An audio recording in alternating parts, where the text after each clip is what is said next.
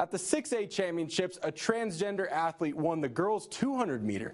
Aayden Gallagher, who was born a male and now identifies as female, was met by boos and some applause.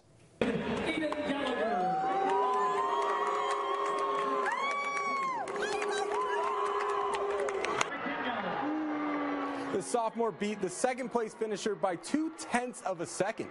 OSAA allows for athletes to compete as a boy or girl based on their gender identity. Earlier in the season, Republican state lawmakers reacted to Gallagher competing by writing to the OSAA requesting a change in rules. The OSAA says it abides by current state law. Dylan Anderman, News Channel 21.